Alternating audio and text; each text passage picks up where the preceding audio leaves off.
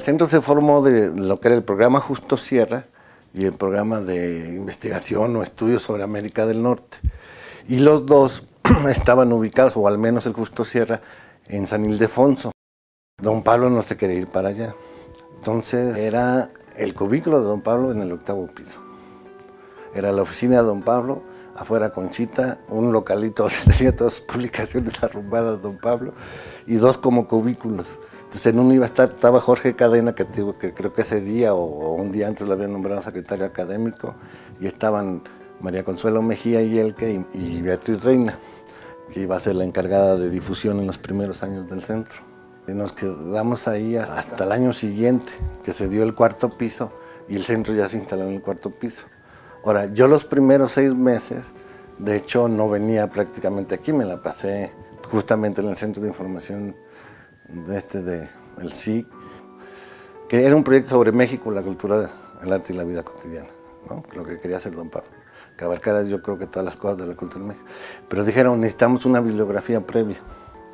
Y entonces gente que yo tenía en lo que era el Centro de Información Científica y Humanística, compañeros míos de generación, me avisaron de que don Pablo andaba buscando una persona y ya me presenté yo y me contrataron para eso.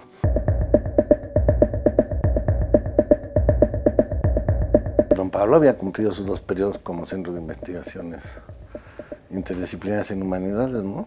Y él presentó su renuncia, pero pues don Pablo no es cualquier persona y todo el mundo lo sabemos, ¿no? Entonces, este, porque como que en rectoría se les olvidó que, que, don Pablo cumplía ocho años, ¿no? Parece ser que él avisó que ya tenía lista su renuncia, su, carta pues, para entregar el centro. Y me acuerdo que temprano apareció por aquí Mario Melgara Dalí, que era entonces el, el coordinador de humanidades, esperando a que llegara don Pablo, ¿no? para ver qué onda. Y de ahí pues le dijeron a don Pablo, no, don Pablo, pues este es su proyecto, usted tiene que seguir en esto, ¿no? O sea, entonces fue cuando se le cambió el nombre al centro, ¿no? Entonces en esa ampliación, don Pablo entró más a las cosas de la complejidad y este, y tú ves cuando entró Norma, Maru, Esther Krasov, Mari Paz. Pero bueno, entró todo este proyecto de los conceptos básicos, ¿no? La ciencia, toda esta colección de folletitos que se hicieron vienen de ahí, ¿no? Pero bueno, con ese cambio el centro se amplió, empezamos a jalar gente de ciencias. Bueno, ahí entró Mari Paz, que es física, ¿no? que se dedica a la historia de la ciencia. Y bueno, después entró gente como Mancilla, que hace cosas muy, muy interesantes, ¿no? a partir de la física, cosas sobre economía, sobre medicina. ¿no?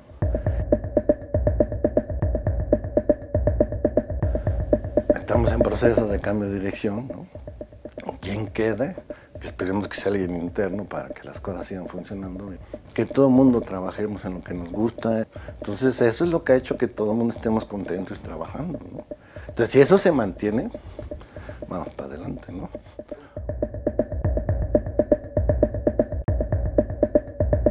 Mi nombre es Carlos Arturo Flores Villena y yo ingresé a este centro el 15 de julio de 1986.